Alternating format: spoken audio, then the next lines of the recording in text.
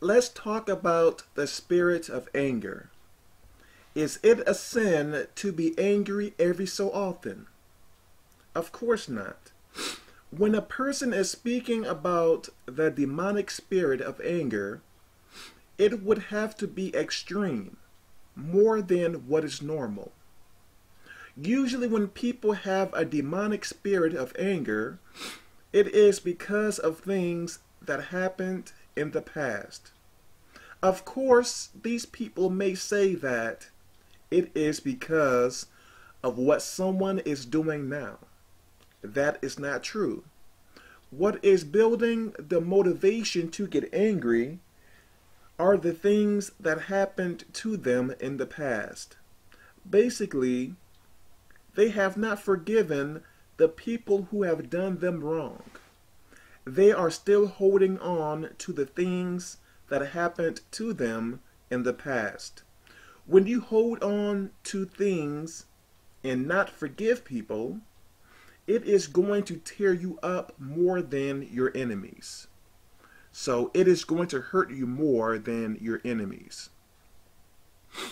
Usually when a person have a demonic spirit of anger, they will develop depression and other psychological issues. They will also be hypersensitive. It is normal to be sensitive to a certain extent. Hypersensitivity is a huge issue. This hurts these type of people more than their enemies.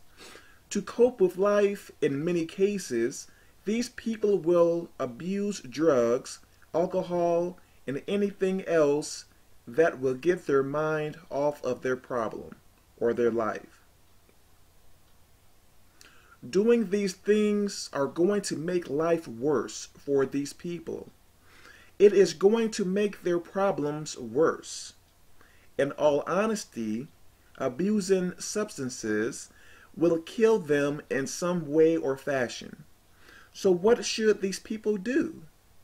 The first thing that these people should do is forgive their enemies. Forgive the people who have done them wrong in the past. That is the most important thing. Okay.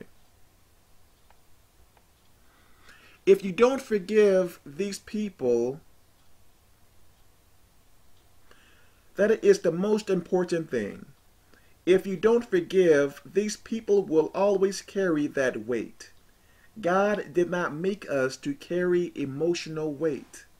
This is why he tells us to cast our cares upon him. When you don't do this, your quality of life is going to degrade. You will be much more you will be a much more miserable person. When I speak of quality of life, I am not speaking of materials and income level. There are people who are rich that stay in depression. Money does not solve your issues. Only God does. So the second step is repent of your sins and come to God. Surrender everything to God. Follow God's rules and regulations. When you don't do this, you are just hurting yourself. It is really quite foolish. How do you repent of your sins? All you have to say is, God, please forgive me of all my sins. If you can remember Apologize for each individual sin that you have committed. This is much better. Okay.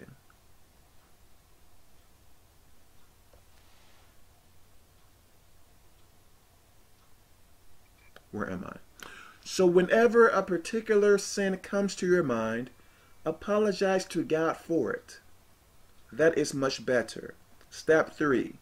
Just maintain your salvation, help people that are in need, cast away selfishness and greed. So I pray that this makes sense. God bless.